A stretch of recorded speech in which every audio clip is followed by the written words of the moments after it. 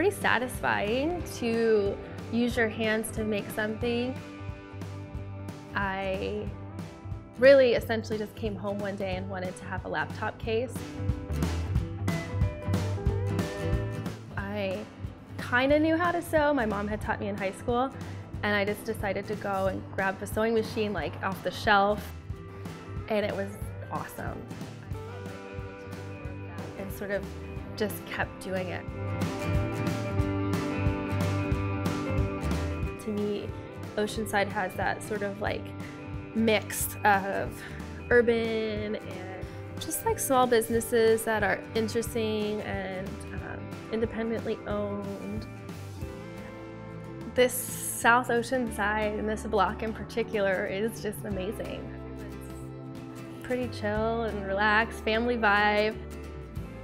But in Oceanside, I feel like we got a community, sort of like kind of an army of people behind us. It's, it's all like just 20, 30 somethings who are just communal and just love uh, being that way. SHEM is 100% like working all the time.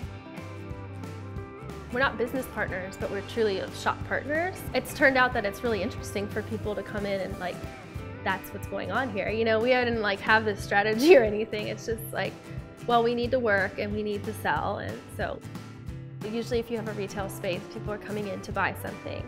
Because we have a table where you can make a key keychain for a dollar or two, it's an opportunity to just come hang out and do something creative and not have to make a big purchase. We had a little boy who took his grandma on a date and brought her here to make her a keychain and then he, you know, he paid he was like six or seven. It was the cutest thing. When I think of the style of Oceanside, I think of before we moved here and coming up here and sort of seeing Captain Grounds and you know people that are hanging out.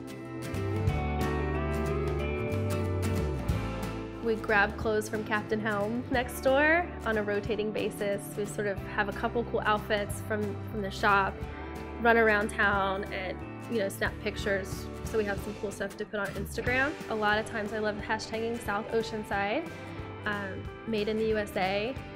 It's really important to me. Um, I started hashtagging community because that's something I really personally stand for and now realize that that's something I Rais Case does really stand for, it's community. It's, it just seems obvious that we should be here. It feels better. Um, the the people that come in are definitely more our customers, and it's just a good it's a good match. Yeah, Oceanside's just kind of real.